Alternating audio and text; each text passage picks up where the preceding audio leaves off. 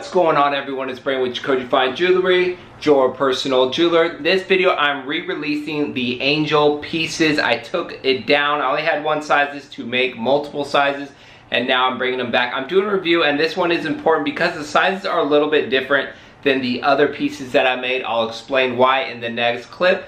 With that being said, let's get started. Now for these angel pendants, I have three sizes, the mini, standard, and then the large size. And what's unique about them, they're different than any other pendant because they have the bail or the hook on the back. And I did that just for the design purposes. I wanted it just to really be focused on the angel and not, you know, the, the bail on top with the jump ring. So I did that. That causes a problem with thicker chains. If like the mini size, I'd go two, two and a half millimeters max the standard three millimeters and then the bigger size you can go up to about four or five millimeters. But that depends on the chain and the end caps. A four millimeter Franco is a lot uh, more difficult to fit on a pendant than a four millimeter rope because the end caps on the Francos are larger than four millimeters and that's like a box lock Cuban link. The box lock is thicker than the axle chain. So keep that in mind. If you have any questions you can email me for advice but I'd keep the chain simple on these pendants. Now, it's true to length as far as the pendant size. Now, the bail and like a jump ring is a jeweler's best friend because it adds that extra length to a piece. These are from toe, head to toe, literally. There's no bail, so they're true to size, but the design they're a little thinner, so they're, they don't have the presence as the Buddha does, the lion, or the Jesus piece. Now, quick review of the three sizes. The mini size is a half inch. There's not a lot there. It is mini. You could wear them, you could stack them. You, there's a lot of different things you could do with that particular size. But again, it's a mini, so keep that in mind, half inch. There's not a lot of weight, but the quality is high. It's Jacoje, so it'll work if that's the size you're going for. The next would be the standard, the most popular.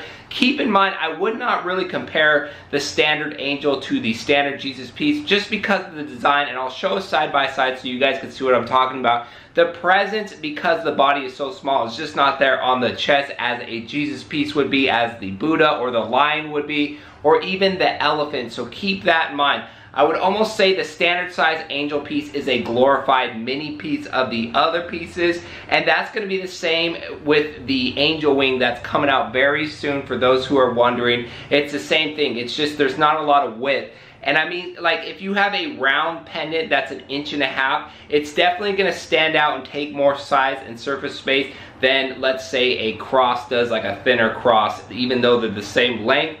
Visually, it's not the same when, when you're talking about different shapes. So keep that in mind with these angel pieces. The weight also is not there. It's about half of what the other standard sizes. And then we get to the bigger size, the angel, the bigger angel. That one is my favorite because it does have the weight 20 grams and it's a true one and a half inch pendant not one and a quarter with the bail so that one has the more presence I think that'll work for a lot of people that like the angel piece design if you're just gonna stack with a bunch of chains then I would definitely look into the standard size but if you want to solo a nice sized angel that'll stand out on the chest, I think the large angel piece is for you. And again, all these are solid 14 karat gold, solid 18 karat gold. They're not hollow.